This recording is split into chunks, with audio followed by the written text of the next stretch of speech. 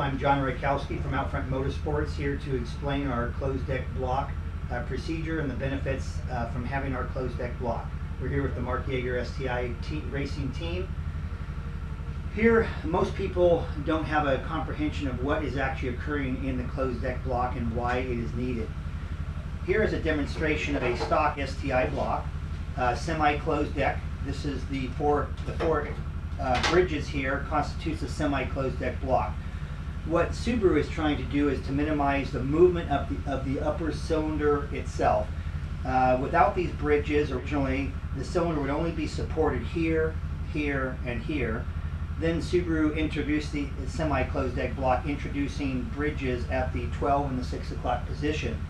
Clearly at this point, though, you have areas at the 130, 5, uh, 630, and, and the 430, 1030 area where the cylinder can start expanding.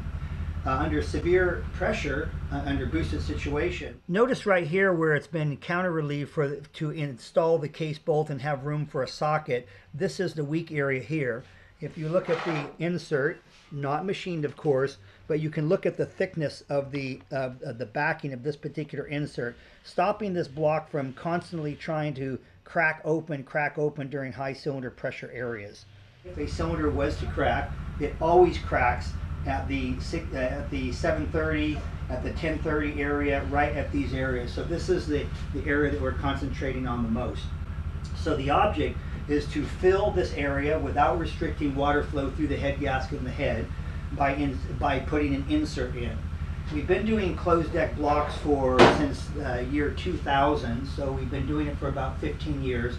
Uh, but as demand gets higher, uh, back in the year 2000, STI and semi-closed deck blocks did not even exist at the time. Um, they did have a two-liter closed deck from Japan. Uh, we were trying to mimic that that uh, that closed deck block on the EJ257 block. So what we've done is that we've made an insert. Uh, this block is not a finished block. Uh, we left it that way to highlight the areas that have been in, that have been filled in by the closed deck block procedure. This is a uh, this is a cold procedure, so it's not done by welding. It's actually done by a machined uh, a machine billet piece of aluminum that is actually installed into the block under a light press. Uh, the light press helps to maintain any type of expansion and, and, adhesion to the insert.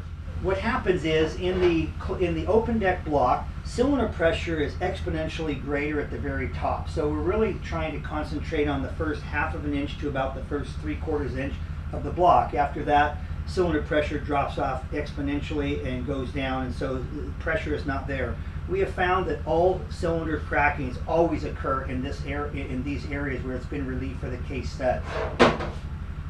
So what we did was we, we really concentrated on this particular area right here, the thickness of the uh, sleeve uh, or the support in the in the background at, at these relieved areas of the of the case.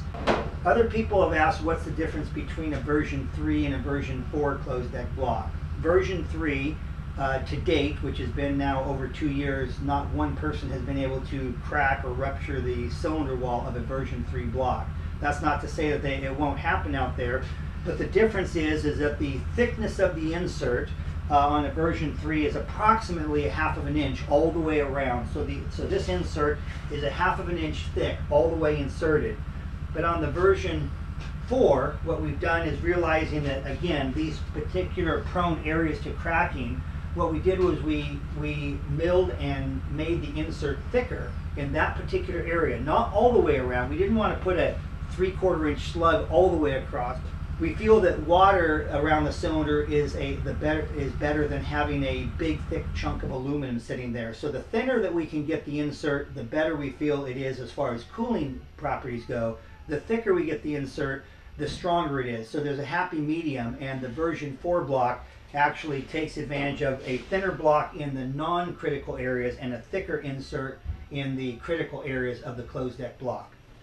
Uh, rating of the closed deck block, because we've never even had a version 3 break at uh, high cylinder pressures, 40 plus pounds of boost, nitrous, those type of things, uh, we don't really know where that limit is, but we we feel that 700 horsepower would be the limit. Uh, any block above 500 horsepower would benefit, any motor running at over 500 horsepower would benefit by having the closed deck block procedure. We feel version 3 would be good up to 700 horsepower, and version 4 is uh, unknown as far as horsepower limits.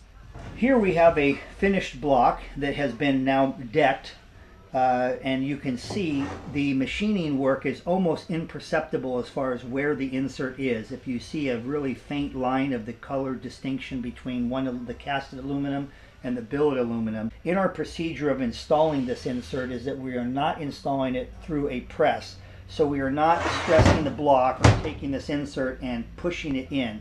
Uh, we have a unique method of how we actually install the block, but what what the goal is is that we're not putting stress across the main bearing saddles by pressing the insert in, similar to that what you would see in a sleeve.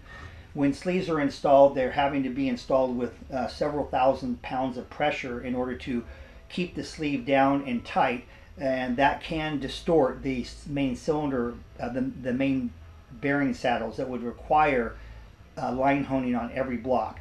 This procedure, we feel comfortable that you do not need to have the added expense of line honing. We've also incorporated water slots that, that match and mimic both the 08 plus STI gasket as well as the early gasket. Most gaskets are the 07 and earlier, but we did want to mimic them. So if you're using the W and uh, V heads and so forth that have different water passages in the cylinder head, you'll take advantage of that for the maximum cooling advantages.